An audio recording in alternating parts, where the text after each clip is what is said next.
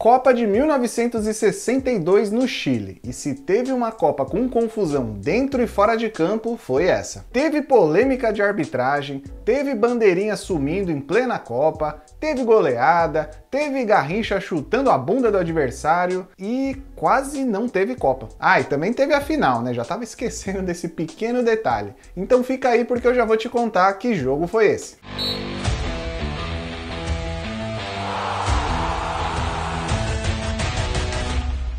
O ano era 1962 e a Copa voltava para a América do Sul. Lembra que eu comentei lá nos primeiros vídeos dessa série? Inclusive, se você ainda não viu os outros vídeos, ó, só clicar aqui no card e maratonar a playlist. Mas enfim, a ideia da FIFA era fazer um rodízio. Uma Copa na Europa, outra na América do Sul, outra na Europa, outra na América do Sul e por aí vai. Mas a FIFA não tinha uma fama assim muito boa em cumprir promessas, né? Então a Europa estava levando vantagem nesse rodízio. Até 62 tinham rolado seis Copas quatro na Europa e duas na América do Sul. E aí, rodízio que é bom, nada. Então a FIFA falou: vamos fazer uma Copa na América do Sul para esses latinos aí pararem de chorar, vai. Chile e Argentina se candidataram para receber a Copa de 62. E a Argentina estava querendo organizar uma Copa já fazia bastante tempo. Lá em 38, a promessa era de que a Copa ia ser realizada na Argentina, mas acabou que aconteceu na França mesmo. E quando os argentinos acharam que finalmente tinha chegado a hora deles, a FIFA organizou um congresso em 56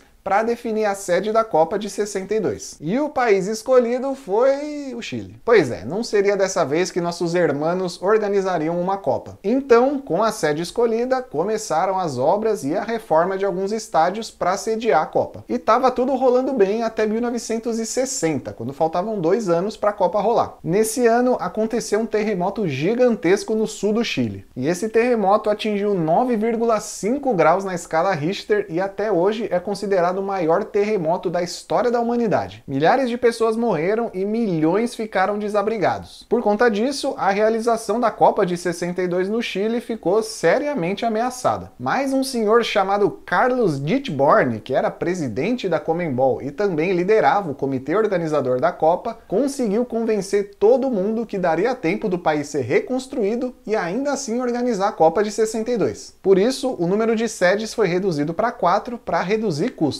Infelizmente, o Carlos Dittborn morreu um mês antes da Copa começar e o estádio de Arica, que era uma das sedes, foi batizado em homenagem a ele. Enfim, estádios reformados, estava tudo pronto para a Copa começar. 16 países participariam da Copa. O Chile, por ser o país sede, e o Brasil, por ter sido campeão da Copa anterior, já estavam classificados. E desses 16 países que jogariam a Copa, 10 eram da Europa e 6 da América Latina. E não participaram da Copa de 62 países da África e da Ásia. E tudo isso por conta do regulamento extremamente confuso das eliminatórias que a FIFA conseguiu criar. E por conta desses regulamentos que só o pessoal da FIFA conseguia entender, nenhum país da Ásia e da África conseguiu se classificar. Mas dois países fariam sua estreia em Copas do Mundo, a Bulgária e a Colômbia. E os dois já começaram com o pé esquerdo. A Bulgária levou 6 a 1 da Hungria e a Colômbia tomou 5 a 0 da Iugoslávia. Por outro lado, a Colômbia entrou para a história das Copas ao empatar em 4 a 4 com a União Soviética, e esse foi o maior empate até hoje na história das Copas. E esse jogo ainda teve um gol olímpico, e esse também foi o único gol olímpico marcado até hoje em uma Copa do Mundo. E essa partida foi apitada pelo árbitro brasileiro João Etzel Filho. E guarda o nome desse árbitro porque ele foi muito importante em outra ocasião da Copa, mas calma aí que eu já conto. A seleção brasileira estreou na Copa enfrentando o México e ganhando por 2 a 0, com um gol de cabeça do Zagallo e um outro gol do Pelé driblando todo mundo, fazendo aquela confusão,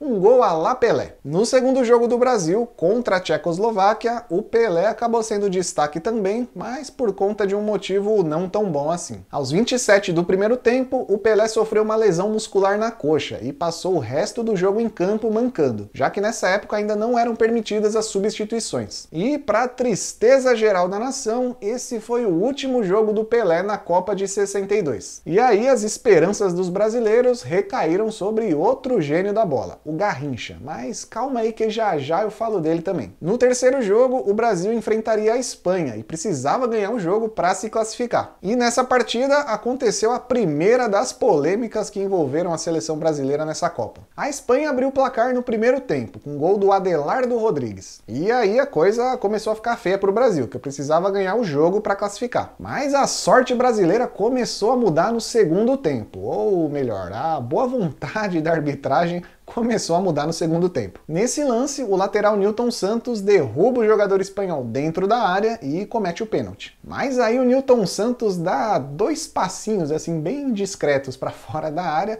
querendo dizer, não foi pênalti não, juiz, foi fora da área. O árbitro que estava sei lá onde, chegou totalmente atrasado na jogada e ignorou o pênalti, ou sei lá, fingiu que não viu e só marcou a falta. Na cobrança da falta, um golaço de bicicleta do Puskas. Aquele Puskas que era húngaro e se naturalizou espanhol, enfim, eu contei melhor essa história nesse vídeo aqui do card. Mas aí a arbitragem, que não tinha visto o pênalti lá cometido pelo Newton Santos, dessa vez viu impedimento no gol do Puskas. Ou viu qualquer outra coisa que eu não faço a menor ideia o que foi, mas o impedimento foi a justificativa oficial. E convenhamos que não teve impedimento nenhum no lance, né? O Brasil, que não tinha nada a ver com a história, ou talvez tinha, sei lá, conseguiu virar o jogo com dois gols do Amarildo, que estava com a nada fácil missão de substituir nada menos que o Pelé. Mas a história da seleção brasileira na Copa de 62 não foi só de polêmicas não, teve lance engraçado também. Nas quartas de final, Brasil e Inglaterra jogavam no estádio Salsalito em Vinha del Mar, quando um cachorro invadiu o campo. O vira-lata passeou pelo campo, deu um olé no Garrincha e só parou quando o inglês Jimmy Greaves conseguiu usar toda uma inteligência uma tática para dominar o cãozinho. Ah, e tem vídeo aqui no canal também sobre as melhores invasões de campo de cachorros, de gato, de lontra, de todo animal. É só clicar aqui no card. Enfim, nesse jogo da invasão do cachorro, o Brasil venceu a Inglaterra por 3 a 1 e se classificou para a semifinal para enfrentar o Chile. E nessa semifinal contra o Chile rolou talvez a maior polêmica de toda a Copa. Mas antes de eu te contar isso, já aproveita para deixar o like aqui embaixo se você está gostando desse vídeo. E também já aproveita para se inscrever aqui no canal. Assim você me ajuda a continuar produzindo vídeos como esse, com histórias, curiosidades, cachorros invadindo o campo e por aí vai. Mas vamos lá para a polêmica. O Brasil enfrentaria na semifinal da Copa de 62 os donos da casa, os chilenos. E o clima era tão tranquilo, tão amistoso antes do jogo, que os jogadores brasileiros estavam com medo da comida do hotel estar tá envenenada. E aí eles só almoçaram sanduíches comprados pela própria comissão técnica brasileira. E se o Chile contava com o apoio da sua torcida, o Brasil depositava todas as suas confianças no Garrincha, que vinha arrebentando na Copa. E no jogo contra o Chile não foi diferente. O Garrincha infernizou a vida dos chilenos com um drible atrás do outro e marcando dois gols, e ajudando o Brasil a vencer a partida por 4 a 2. Porém, já no final do jogo, o Garrincha foi expulso pelo árbitro peruano Arturo Yamazaki por ter agredido um jogador chileno. E esse cartão vermelho deixaria o Garrincha suspenso para o próximo jogo, que seria só a final da Copa, só isso. Aí começou todo um trabalho da cartolagem brasileira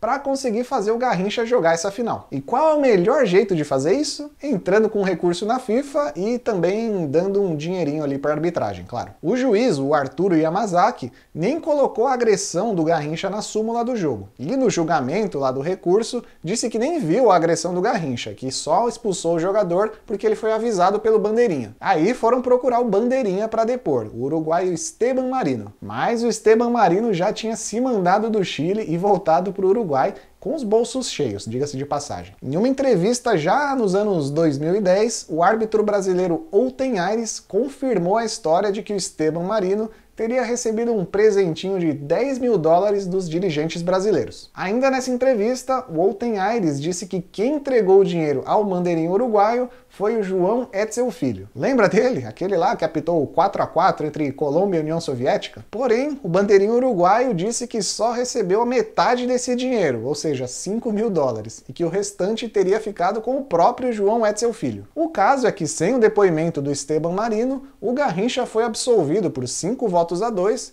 tomou só uma advertência e estava liberado para jogar a final. E a história conta que até o primeiro-ministro do Brasil, Tancredo Neves, e o presidente do Chile, o Jorge Alessandri, enviaram uma carta à FIFA pedindo para que o Garrincha jogasse a final. Agora você deve estar tá curioso para ver qual foi esse lance que gerou essa confusão toda, que gerou a expulsão do Garrincha, né? Foi esse chute aqui na bunda do chileno Eladio Rojas. E eu acho que um cartão amarelo tava de bom tamanho no fim das contas, né? Enfim, no dia 17 de junho, junho, Brasil e Tchecoslováquia e Garrincha também entravam em campo no Estádio Nacional de Santiago para disputar a final da Copa. Aliás, nesse dia o Garrincha estava com febre de 38 graus e mesmo assim foi pro jogo. Afinal, só faltava, né? Teria feito toda essa confusão pro cara não jogar por causa de uma febre. Quem não entrou em campo foi o Pelé, que ainda estava machucado e ficou ali na arquibancada assistindo. Logo aos 14 minutos do primeiro tempo, a Tchecoslováquia abriu o placar com Mazopust. Mas o Brasil reagiu rápido e empatou logo aos 17 com o Amarildo. E foi um daqueles gols meio sem querer. O Amarildo fugiu da marcação e cruzou para a área, mas o chute cruzamento, sei lá, saiu meio torto e acabou enganando o goleiro tcheco.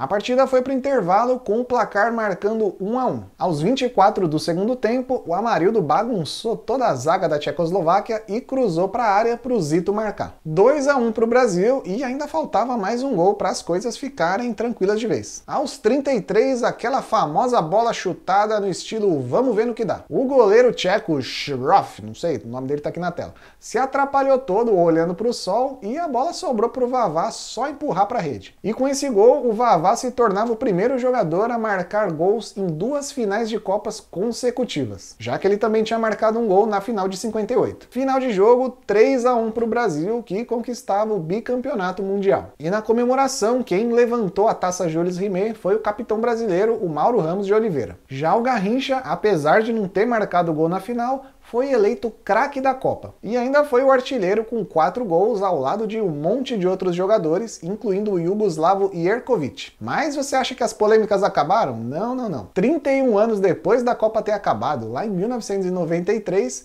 descobriram que esse Yugoslavo, esse Jerkovic, tinha marcado cinco gols na Copa e não quatro. E esse gol, que acabou sendo descoberto 31 anos depois, na época tinha sido dado a outro jogador da Iugoslávia. Então, com isso, Jerkovic passou a ter cinco gols na Copa e o Garrincha não era mais artilheiro de nada. Bom, depois de tanta polêmica, tanta confusão e tanta curiosidade, eu só posso dizer que esse vídeo tá chegando ao fim. E se você ainda não assistiu aos outros vídeos dessa série sobre todas as finais de Copas do Mundo, só clicar aqui aqui no card e deixar tudo em dia. Eu vou ficando por aqui e até o próximo. Que jogo foi esse?